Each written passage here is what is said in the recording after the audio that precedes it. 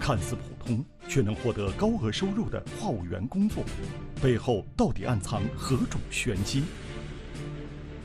该公司究竟有何不可告人的秘密？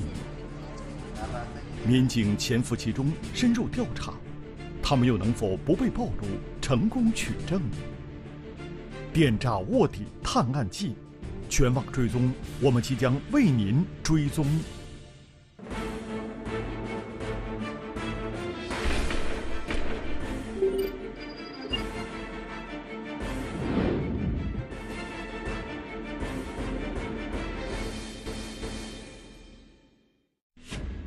大家好，我是宣一，欢迎收看全网追踪。在这里，我们将为大家带来每周最令人关注的网络话题。我们还将和公安机关一道以案说法，借助数据分析，为您探究网络世界的深层秘密。我们将与您一起破解网络迷局，剖析最新的网络动态，识别网络陷阱。每周日的晚上，宣一和您一起全网追踪。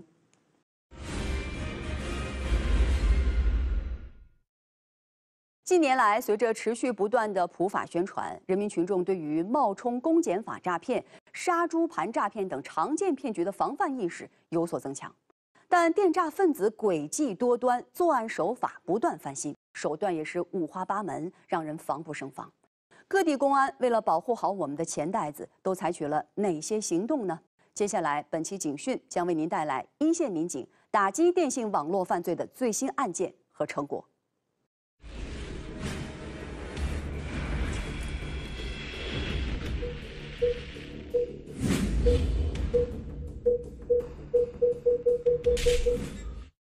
钱没有转吗？啊钱没转，没有转账给对方吗？没有没有，钱千万不要转哎，嗯，不要转。画面中的女子是来自乐清市的刘女士。此时面对乐清警方的到来，她有些惊魂未定，因为就在几小时前，她接到了自称是温州市公安局反诈中心民警的电话。电话那头，这名所谓的民警告诉刘女士，称他在广州市办理过的银行卡和电话卡，均涉嫌电信诈骗。要求刘女士需将涉案银行卡内的资金转到其指定的银行卡接受审核，如果刘女士不照做的话，就会冻结其名下所有的银行卡。担惊受怕的刘女士此时对这名所谓民警的话深信不疑，于是按照对方的指引一步步操作。与此同时，浙江省乐清市公安局黄华派出所接到市局反诈中心的预警，时间紧迫。民警赶紧对刘女士进行阻止，然而当民警尝试联系刘女士时，却不太顺利。我拨打了数十个电话中，仅有一个电话接通，但是在我和刘女士交涉的短短几句话，刘女士就挂断了电话，在言语中表现出对我们公安机关的一种不信任感，甚至认为我们才是真正的骗子。情况不容乐观，乐清警方于是立即联系刘女士的亲属。最终，在亲属的帮助下，成功找到了刘女士。此时，刘女士已经按照骗子的要求下载好了软件，正准备进行下一步操作。民警立即对刘女士进行了劝阻。听完民警的话，刘女士才得知自己差点落入骗局。在警方的配合下，刘女士于是赶紧卸载了这款应用程序。目前，该案仍在进一步侦办当中。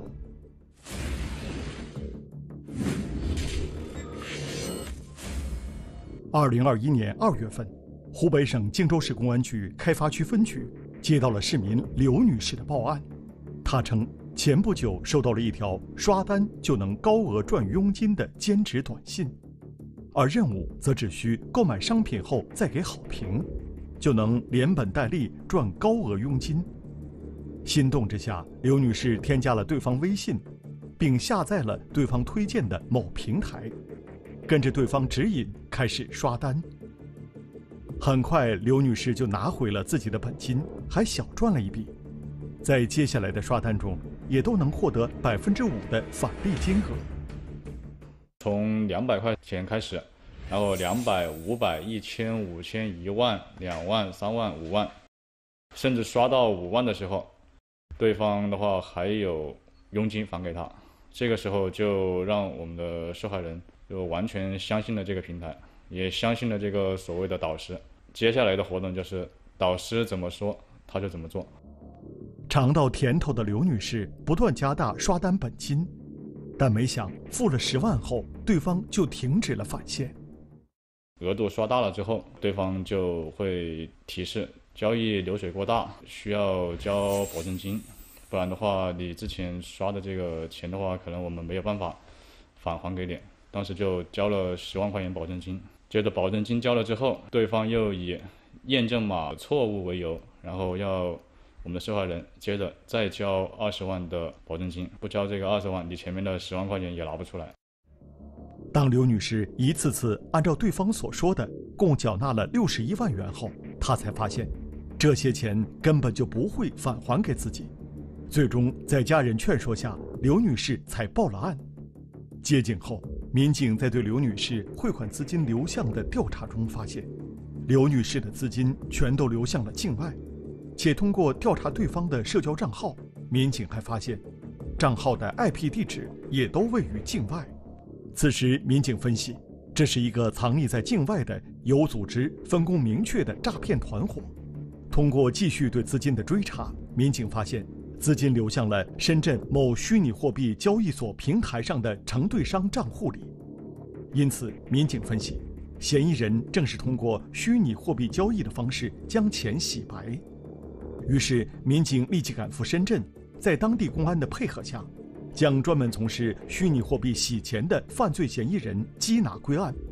截至目前，警方正在追捕其余犯罪嫌疑人，案件正在进一步侦办中。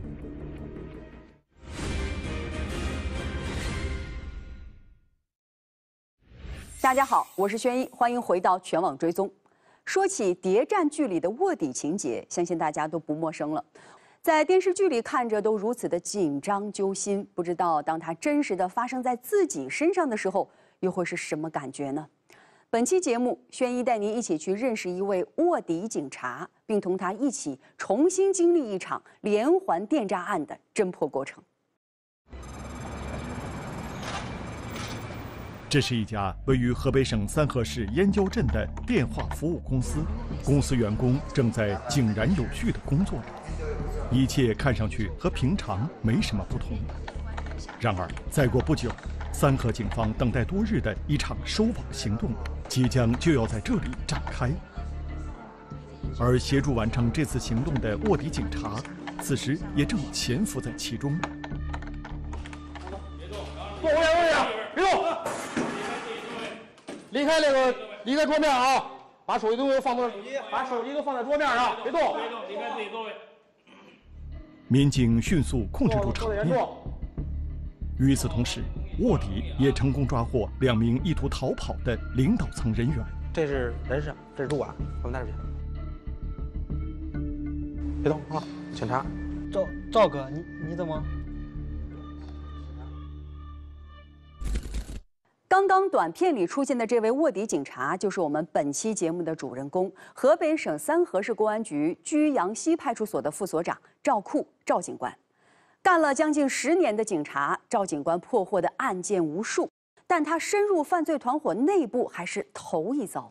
他进行了长达一个月的潜伏取证，帮助警方最终成功打掉这一涉案金额数千万元的特大电信诈骗团伙。然而，这一切是怎么开始的？让我们一起回到最初，一探究竟。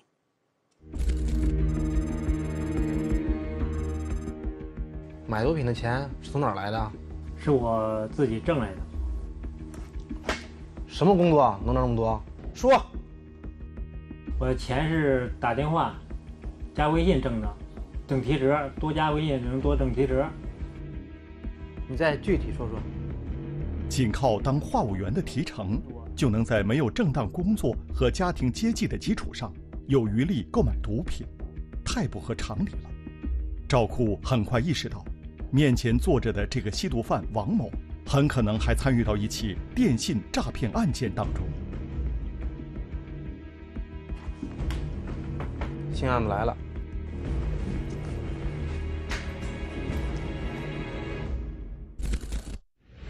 真是没想到啊！竟然是在处理涉毒刑事案件的过程中，发现了电信诈骗案件的蛛丝马迹。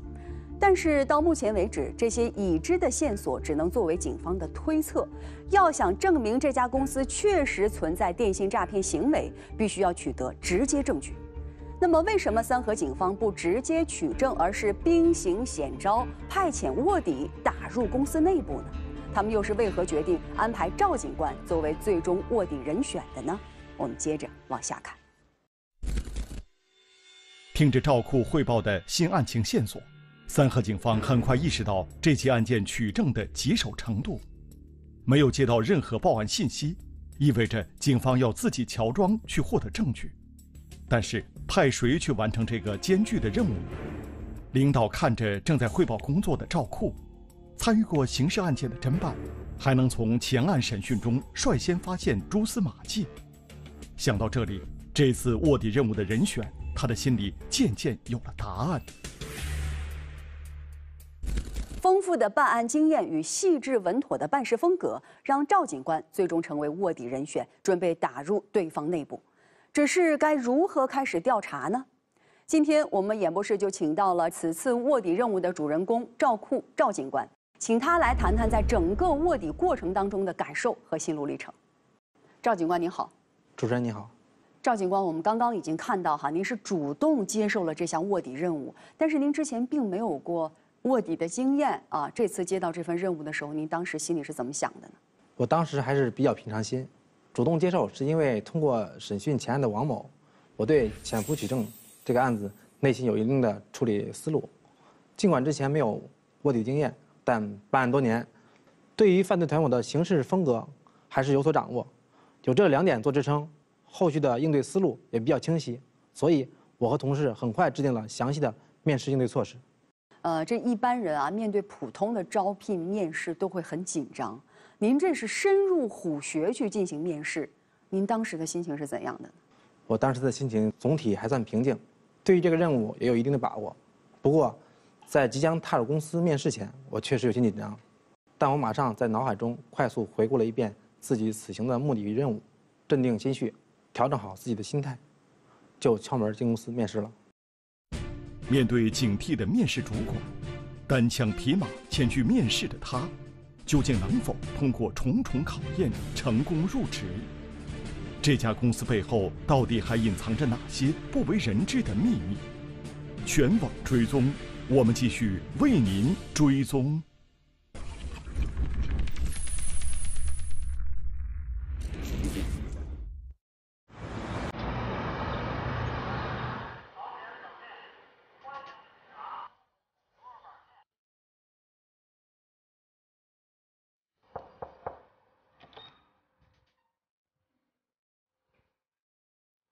你是来干嘛的？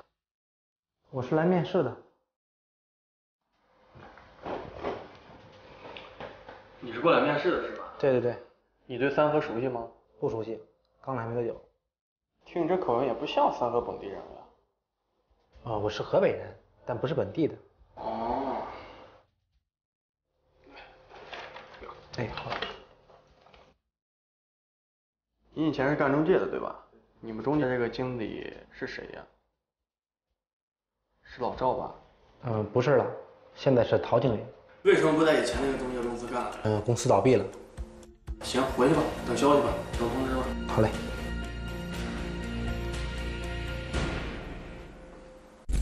哎呀，这个对方是来势汹汹啊！看来这面试真是一点儿也不含糊。呃，我注意到哈，当这位主管提到您的口音啊这样比较尖锐的问题的时候，您的表现仍然是非常镇定的。是因为这早在您的预料之中吗？是的，这些题目虽然来者不善，但主要都围绕着与自身经历相关的地方。这是这个我们前期调查中有所发现。那么就是比起本地人，这家公司更愿意招聘人生地不熟的外地人。方便他们控制。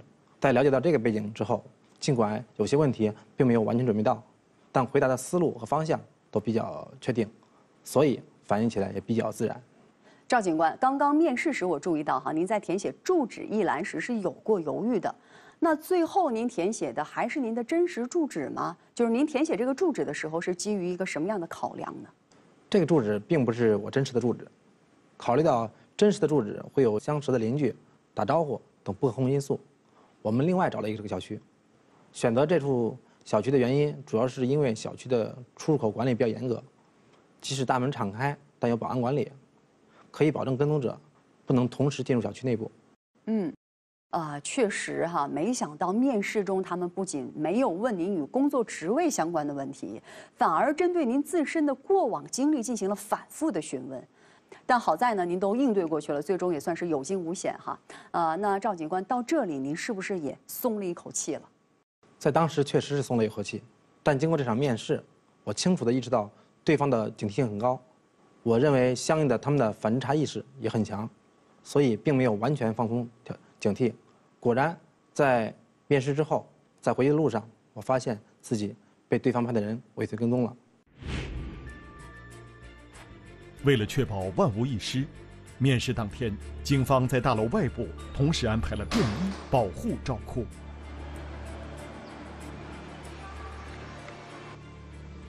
没有上前联系，就是不要联系。便衣知道这是赵库径直离开的用意。为了防止打草惊蛇，接下来，或许赵库单独行动才是最好的选择。那个人跟丢了。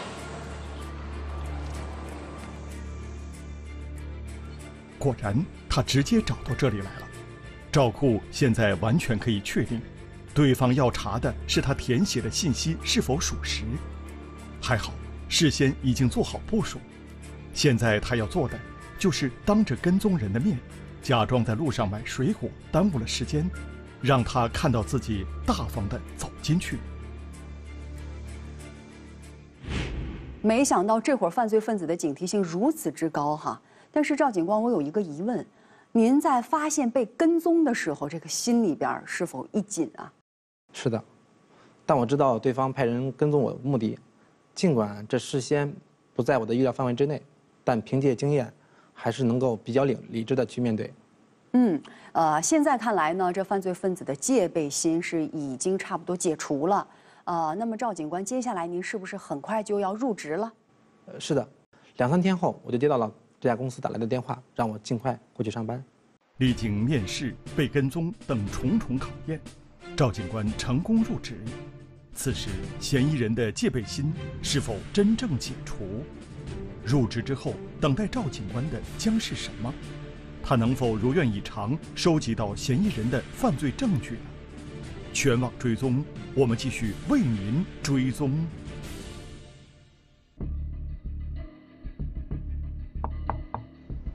真正的考验终于要开启，赵库告诉自己，取证要尽快，但也要小心。赵库被人事带到自己的工位上。刚一坐下，对方就递给他一叠话术单。看着手里成套的资料，赵库初步知晓了这个公司的业务流程。看来这家公司招聘的话务员还真是不少。那您这份话务员岗位的具体工作是什么呢？呃，其实就是打电话，但要根据犯罪嫌疑人准备的话术单和电话本，冒充正规证券公司的客服经理。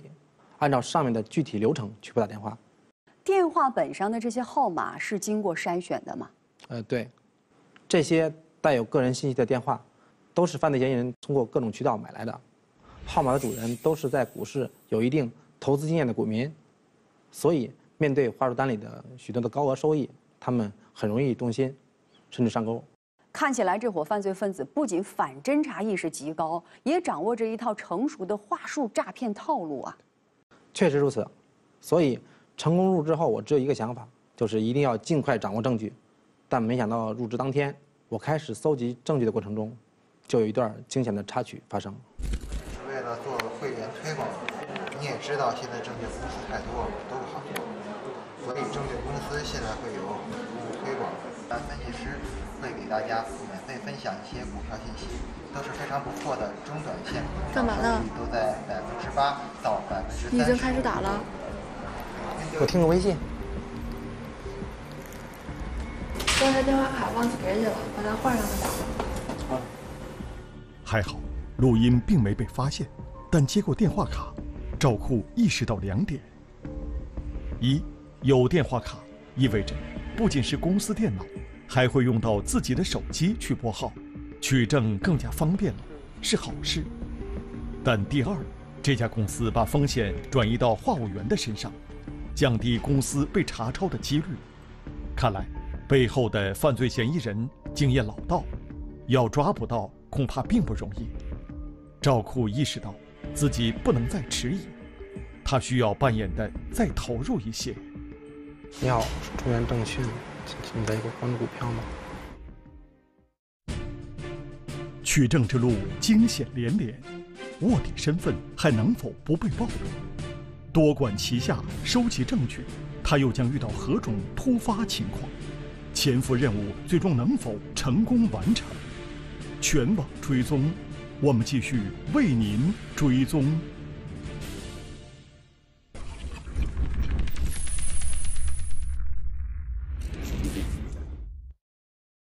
真是让人看得捏了一把汗哈！潜伏在其中，在警察和话务员两种身份之间变换。您不仅呢要保护好自己的身份不被暴露，还要尽快搜集到有用的证据，防止更多的人上当受骗。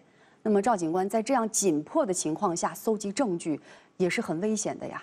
呃，当时确实很紧张，但是我必须尽快完成任务。既然刚刚视频里直接录音的方式有一定的暴露风险，那您接下来是怎样来安全的收集证据的呢？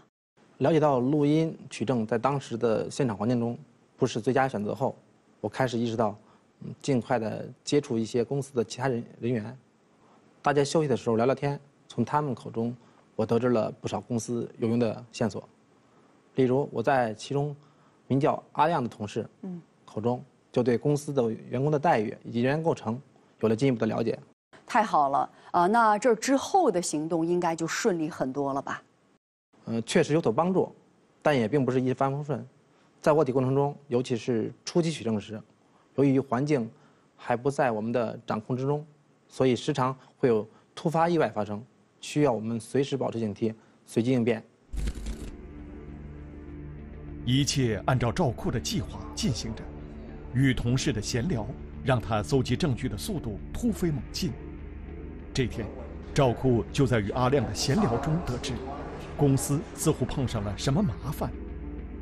听说最近有几个商家公司点儿被端了，情况不是特别好。那我们这边一定要注意，哦，一定要告诉大家，最近要严谨一些，不要出现任何差错。好的。喂，老板。赵哥，在这儿干嘛呢？和你聊天。你在这儿干什么？我来交报表。什么报表？给我看看。咱们的业绩表。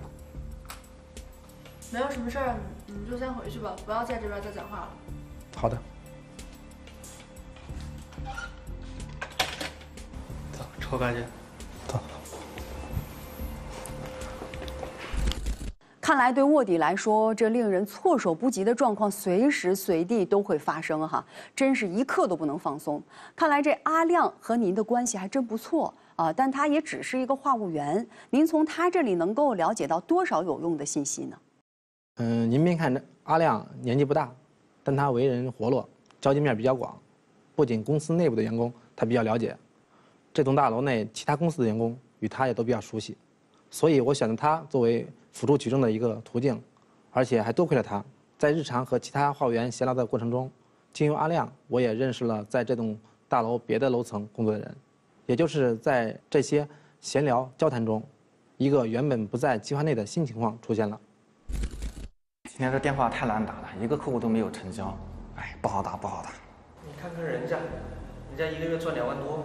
没有没有，运气好而已，连哄带骗，也就那样，运气好而已。哦。你们也是打电话的？哦，他们楼上公司的，他们跟咱们也差不多，也是打电话的。哎呀，这事情的走向好像是越来越复杂了哈。那这究竟是什么情况？您能和我们具体说说吗？没问题。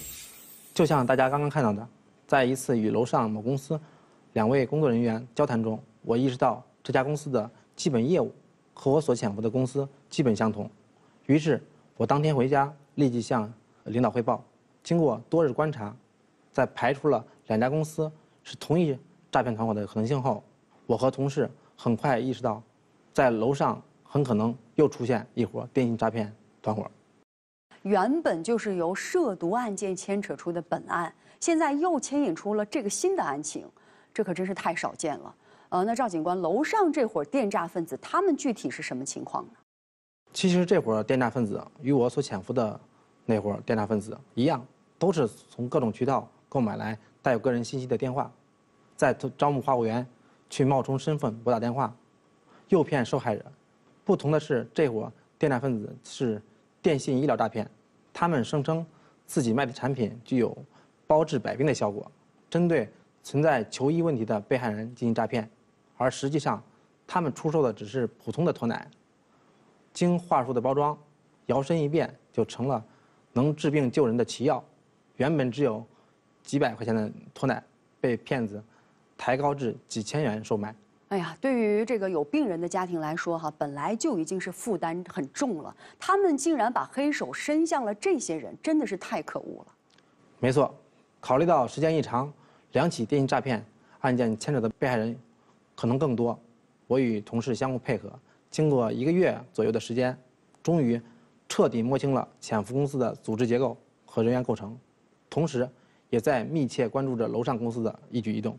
那您能跟我们详细说一说，就是您所潜伏的这家公司的组织架构吗？好的，主持人，我所潜伏的这家公司有两名老板，下边分设行政、财务、技术、客服四个部门，对接上海、广州等多个上线公司。公司话务员六十余名，就是通过拨打电话、添加炒股者微信的方式实施诈骗环节的第一步工作。非常感谢赵警官，谢谢您。现在警方已经掌握到这些关键信息，再加上之前收集到的话术单等相关证据，三河警方这场为期一个月的卧底任务，终于到了要收网的日子。在掌握了大量关键证据后。上级命令果断收网。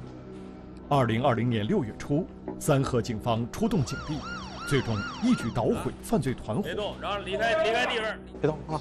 警察。赵赵哥，你你怎么？现场共抓获犯罪嫌疑人六十余名。离开自己座位。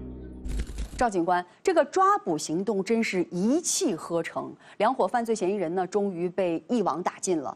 但是我同时还有一个问题哈，之前听您介绍，这两伙犯罪嫌疑人呢，都是靠招募话务员来实施第一步诈骗的。那这些诈骗参与者都是从哪里来的呢？呃，其实不少诈骗参与者都是一些刚出校门的大学生，对于这个社会怀着赚钱的憧憬，刚开始，并未及时认识到这是诈骗，甚至两名老板的年龄也只有三十多岁。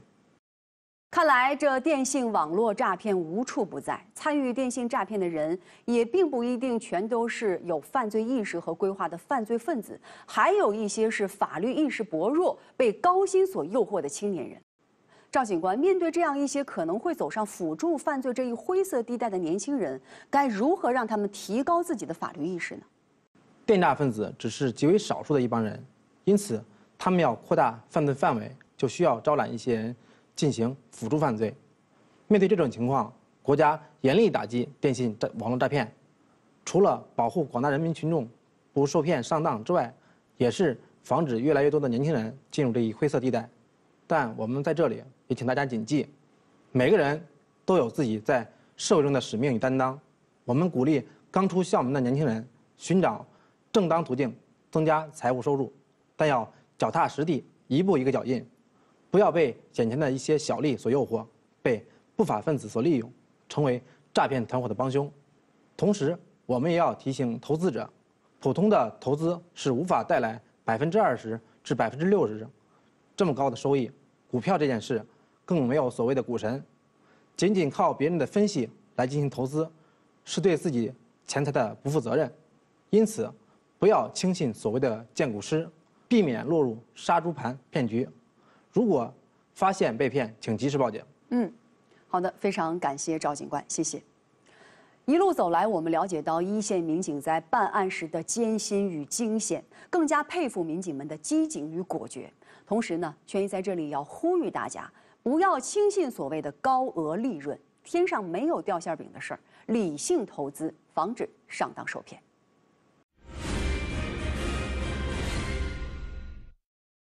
相信大家在日常生活中都收到过亲朋好友发来的要求我们帮忙投票的链接。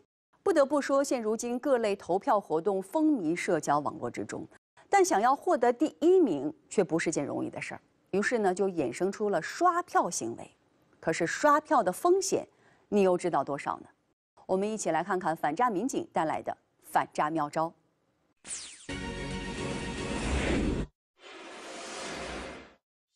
最近，报案人白女士称自己在微信群内刷到了一则萌宝宝大赛活动。该推送称，只要在参赛链接里发布宝宝照片，参与投票，获得第一名就可以得到数万元奖励。于是，白女士就发布了孩子的照片，短时间内迅速获得了数千票，但是距离第一名还很远。这时，主办方客服联系白女士说可以进行刷票。为了获得第一名。白女士向客服介绍的刷票人支付了上千元，代刷了一千票。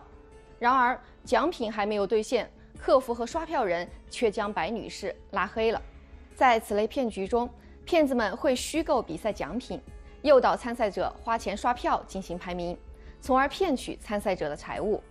识破这类骗局其实很简单，我们只需要做到以下几步：第一，当我们参加投票比赛时，必须辨别比赛真伪，确定是否为正规商家举办的活动，尤其对非本地平台举办的涉及本地的投票活动，更是要十分警惕。第二，碰到填写个人信息时要警惕，不要涉及银行卡号、账号、生日等信息，要尽量避免填写详尽的资料，尤其在涉及身份信息、住址、财产信息等，更要十分谨慎。对来源未知、以活动名义发送的链接或软件时要谨慎，小心手机被植入木马程序，导致银行账号、密码等信息被盗。第三，注意活动奖品发放方式，现金、手机、儿童电动车这些奖品如此贵重，若发奖方式没有说明，既没有提及到什么地方领奖，也没有赞助商，那很可能就是骗局。第四。越是正规的比赛，主办方往往对于投票有着严格的控制，一切付费刷票行为一经发现，很有可能就被取消参赛资格。所以，请大家一定要严格遵守比赛规则。奖品越诱人的比赛，大家越应谨慎。刷票本身就是一种破坏比赛规则的不道德行为，因此大家一定要严格遵守比赛规则，以免落入陷阱之中。接下来要说的这类骗局，骗子冒充国家机关工作人员来实施诈骗。面对这类骗局，我们又该如何防范呢？一起听听反诈民警怎么说。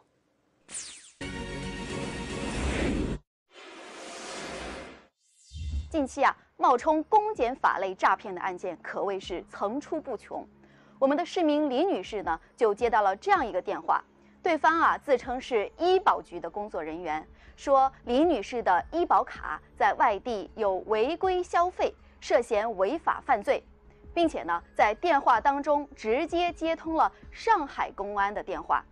对方的公安啊称，李女士如果要自证清白的话，就要把自己账户里所有的资金汇入到公安局的安全账户。